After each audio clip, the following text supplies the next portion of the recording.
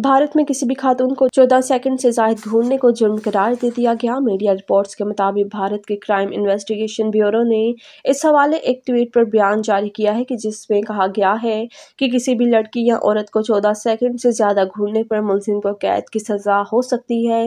भारत के crime investigation bureau के मुताबिक, चाहे आप किसी को जानते हैं या नहीं जानते, जाने या अनजाने या फिर मज़ाक में भी किसी खातून को चौदह सेकंड से जायद नहीं घूर सकते, ऐसा करने वालों को कम अज कम तीन माह, जबकि ज़्यादा से ज़्यादा एक साल तक कैद भी हो सकती है। साथ ही मुलजिम को जुर्माना भी किया जा सकता है। वाजा रहे की भारत में खातन को घूरना आईपीसी की दफ़ा दो सौ चौरानवे और पाँच सौ नौ के तहत संगीन जुर्म करार दे दिया गया है। इस तरह के मामला को हरासानी के जमरे शामिल किया गया है।